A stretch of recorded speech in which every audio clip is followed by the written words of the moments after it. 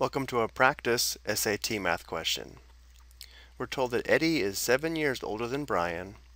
If Brian is X years old, then how old was Eddie 11 years ago?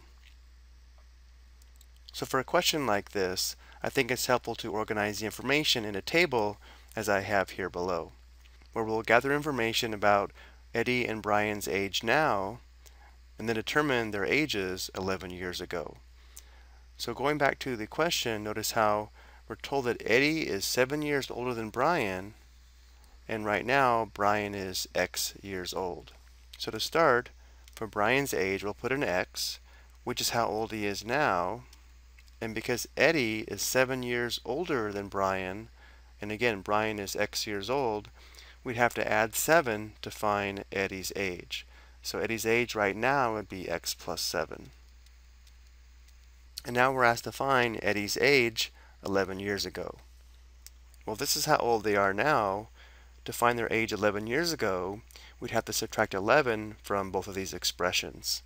So Eddie would be x plus 7 minus 11 years old, and Brian would just be x minus 11 years old. So if we simplify this expression here, we'll have an expression for Eddie's age 11 years ago.